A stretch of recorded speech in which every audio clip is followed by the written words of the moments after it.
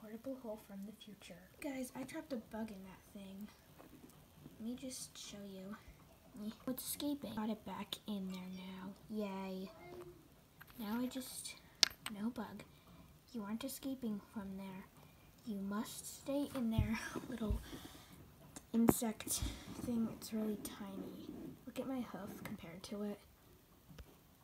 I'm also not zooming in. I'm just holding my phone, which I'm filming this with close to it. It's just a stain. It's just. No! Where did. Oh, it's still in there. I don't know what to do. Like, at all. Hang on. Let me just. There, now it's on the phone stand. I can use both hands to do something to it. Just move my OC because I don't want it. I don't want it crawling on me. That won't be good.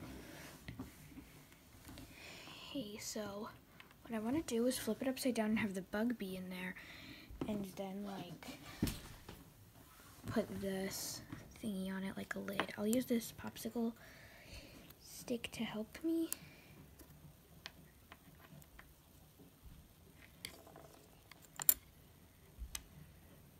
Oh, I had to touch it, but um, now it's in here at least. That's good. Now I'll just leave it in there, in here, for a while. I don't like when bugs do that. Anyway, thanks for watching. Bye. This is really pixely. Thank you for watching. Bye now, every pony. Oh wait, before you go, remember to like, subscribe, and comment. Bye now for realsies this time.